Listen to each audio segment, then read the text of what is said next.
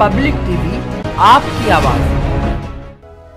युवाओं के प्रेरणा स्रोत स्वामी विवेकानंद का युवाओं को दिया संदेश भी मुरादाबाद ज़िले के युवा कलाकारों के द्वारा चरितार्थ करके दिखाया गया है। युवाओं ने मिलकर कड़ी मेहनत से स्वामी विवेकानंद जी का एक पोर्ट्रेट बनाया है और स्वामी विवेकानंद जी को ही अपनी कंपनी को समर्पित किया है। स्वामी विवेकानंद जी के एक में जन्मदिन के अवसर पर युवा कलाकारों ने रंगों से उकेर कर विवेकानंद जी को नमन किया। उठो, जागो और तब तक मत रुको, जब तक मंजिल प्राप्त न हो जाए। ये मूल मंत्र स्वामी विवेकानंद भारतीय युवाओं को दिया करते थे। उन्हीं के लिए इस मंत्र को मुरादाबाद के युवा कलाकारों ने पोर्ट्रेट तैयार कर, तैयार किया है। स्वामी विवेकानंद जी के जन्मदिन के अवसर पर हमने उनका एक पोर्ट्रेट बनाया है। और ये पोर्ट्रेट हमने इसलिए बनाया है क्योंकि एक तो ये युवा के, युवा पीढ़ी के, युवा के, भारत के युवा के एक एक आइडियल माने जाते हैं। और उन्हीं की वजह से यूथ डे जो होता है वो भी मनाया जाता है, इनसे इंस्पिरेशन लेके। तो हम लोगों ने आज ये नवनीत गोस्वामी जी के निर्देशन में ये पोर्ट्रेट बनाया है। और एक तरीके से हमारे भी आइडल हैं, क्योंकि हम लोगों ने अपनी कंपनी की शुरुआत की है। तो इन्हीं से प्रेरणा लेते हुए हम लोगों ने आज अपना ये पहला काम किया है इसके अंदर। क्या साइज़ है इसका? साइज़ जो है ये छः बाय साढ़े चार फिट का है।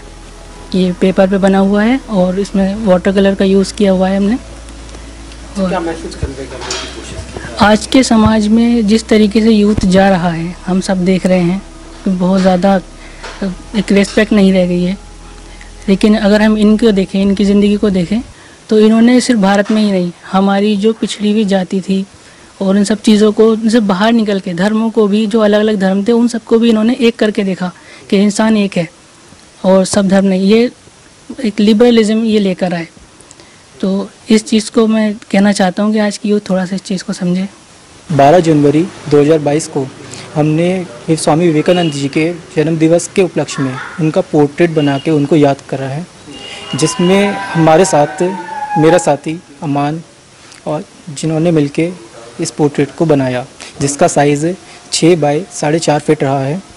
ये कार्य हमने डॉक्टर नवीन गोस्वामी जो चित्रगुप्त के कला के टीचर हैं उनके निर्देशन में हमने किया है। क्या मैसेज करने मैसेज हम ये देना चाहते हैं कि जिस तरह स्वामी विवेकानंद जी हमारी संस्कृति और युवा को उन्होंने आगे बढ़ाने का किया है कि युवा को समझाया कि हमारी संस्कृति क्या है? बाहर देश ही नहीं बाहर विदेश तक भी हमारी भारतीय संस्कृति को भी बढ़ बढ़ाया है। इसलिए हम ये चाहते हैं कि हमारे आजकल के जो युवा हैं वो इनको इनके बारे में पढ़ें इनको समझें और इनको फॉलो करने की कोशिश करें। यही वजह है कि आपने उनकी अपनी कंपनी को भी उनके उनके समर्पित किया जी हमने अपनी कंपनी एक स्टार्ट करी डेकोरेशन डिज़ाइन जिसको जिनकी प्रेरणा से प्रेरणा लेके हमने उसको स्टार्ट करा है। इनको अपना आइडियल माना और इनको ही समझ के, इनके तरीके, इनके पीछे आगे हम चले तो एक मुकाम तक हम पहुँच सकते हैं। चित्रगुप्त के लेक्चरर हैं डॉक्टर आर्ट आर्ट के हैं और बड़े क्रिएटिव माइंड व्यक्ति हैं डॉक्टर हमारे गोस्वामी साहब, नवनीत गोस्वामी साहब।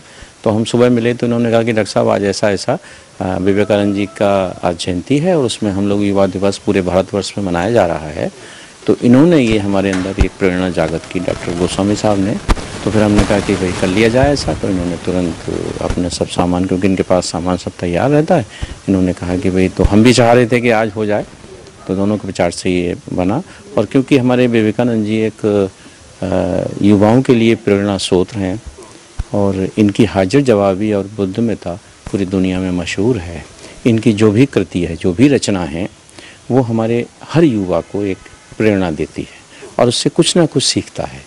हमारी जो भारत की संस्कृति की सुगंध है, उसको इन्होंने बहुत ऊँचे आयामों तक पहुँचाया है। वरना पूरे विश्व में हमारी भारतीय संस्कृति को एक हँसी मज़ाक के तौर पर लोग मानते थे कि ये तो सपेरों का देश है, सांपों का देश है, ऐसा कहा करते थे और हमारी संस्कृति का बड़ा मज़ाक बनाया जाता था। यही एक ऐसे व्यक्ति हैं कि जिन्होंने हमारे देश की इस भारतीय संस्कृति को, पुरातत्व संस्कृति को बहुत ऊँचे आयामों तक पहुँचाया है। और इन, इसी इसी वजह से आज हमारा पूरा देश इनकी जयंती को एक युवा दिवस के रूप में मना रहा है, क्योंकि ये युवाओं के प्रेरणा स्रोत कहे जाते हैं। पब्लिक टीवी, आपकी आवाज़।